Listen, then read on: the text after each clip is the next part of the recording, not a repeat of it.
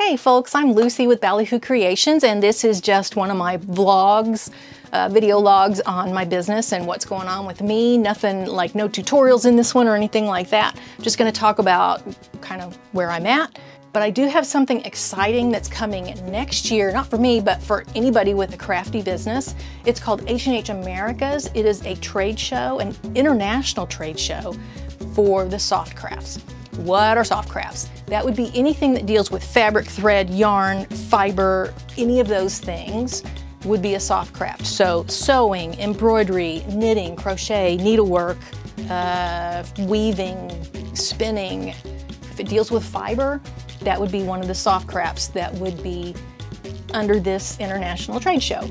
H&H has been doing the H&H Cologne craft trade show in Germany for years, and it is one of the world's biggest trade shows in the craft industry. The other really big one is the Creativation, which has been in Arizona for the past several years.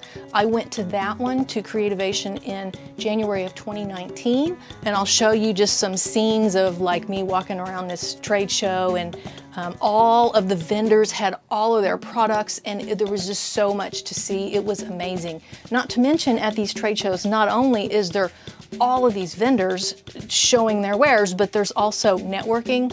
You meet amazing people there and there's workshops, so you can learn a lot of stuff too. That is happening in Chicago, June 22nd, I'll put it up here, June 22nd through 24th of 2022 in the Chicago area. Actually, it's in Rosemont, Illinois, which is right outside Chicago. You fly into Chicago, the, the Donald Stevenson Convention Center is like, I don't know, a mile or something. You just get a shuttle bus and run over there. So I am planning on going. It would be great if other people would go too. Uh, leave a comment if you think you might go and we'll, we'll try to have a meetup or something. That would be awesome. So I'm excited about the trade show. And the reason I'm so excited is I am on some committees. They're volunteer positions. I'm not getting paid to be on the committees and I'm not getting paid to say anything like this, but I do love trade shows for any industry. I'm one of those trade show junkies. I love getting that baggie of stuff that you take home. So I'm very excited. Um, and I'm on the social committee and the workshop committee. And it's just been really uh, fun watching to see how this all comes together. There's going to be great stuff there. I'm looking forward to it. So go look it up, go to their website, and uh, see if it might be something that you and your business would be interested in, whether you are a crafter selling on Etsy, all the way up to maybe you're a big social media influencer in the craft industry doing a soft craft. Um, if you're a designer, anything like that, look into this trade show. It's gonna be really big.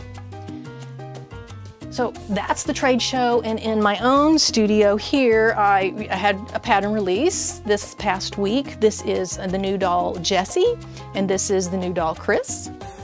And these are the big versions of them made in the 8x12 hoop on the embroidery machine. And of course, this is Kris Kringle and Jessica Kringle. If you're familiar with the Rankin and Bass, Santa Claus is coming to town, stop motion. Mrs. Claus's name was Jessica, so that's why I named her Jessie.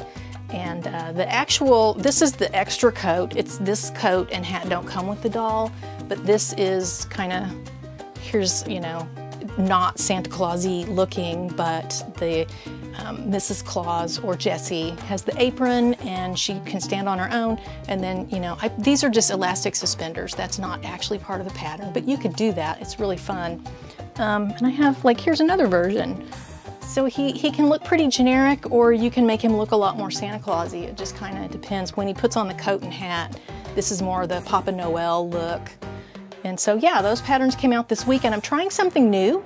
These are priced at, um, let's see, $5 for this pattern, which includes the body and the head, and then $5 for this embroidery machine pattern, which is the body and the head here, which the glasses are part of it, the hair is appliqued on.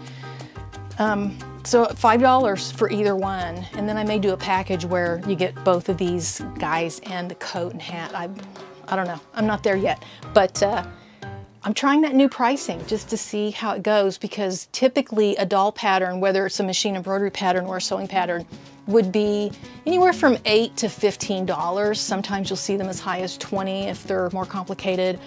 And I'm gonna try a little bit of a lower pricing model just because, and, and so this is the other part that I wanted to include in this vlog update.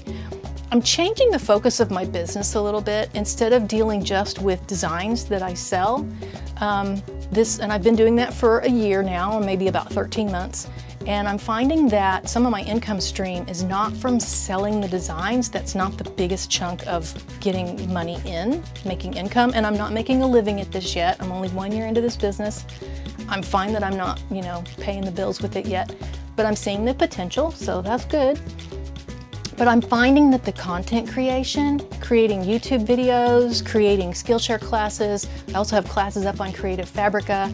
I'm, I'm seeing, for me personally, I'm getting income from those revenue streams more than selling the designs. And I'm thinking that in 2022, I'm gonna focus a little bit more on content creation, making videos, and a little less on the designs. I'll still have, my designs will still all be for sale and I'm gonna kind of clean that up and make it easier to understand the website. And then I'll still have new stuff coming out occasionally. But also, I mean, when I teach a class, for example, the Skillshare or the Creative Fabrica classes, there's a free pattern included with that. So you get all the files for free when you take that class. So I'll still be designing, but sometimes the design will be just something that you get free when you take the class. So it's just kind of a different business model for my business that I'm gonna try out and I'm gonna see what happens there. It, it may not go so well. Maybe I would rather go back and focus on the designs later, but uh, there's always time to go and, and look at that later. So I'm curious, two things that I'm wondering from you guys. If you have a crafty business or even if you're just a crafter, what do you think? Um, does it make sense that patterns would be cheaper considering that's not where I'm, I'm trying, not trying to make money off of the patterns as much as the, the videos and stuff like that. So why should I be making a ton of money off of the patterns just because people will pay it when I'd rather lower the price and have more people get into doll making. That's kind of my whole goal is I want more people to get into this craft or to get into machine embroidery. That's why I make these machine embroidery videos because this is an amazing, well, this is an amazing machine. I love this machine, but just running the embroidery machine is a really fun thing to do. And the more people who get into it, I, I feel like more people are, are having fun with it. So I'm just trying to spread that joy, you know?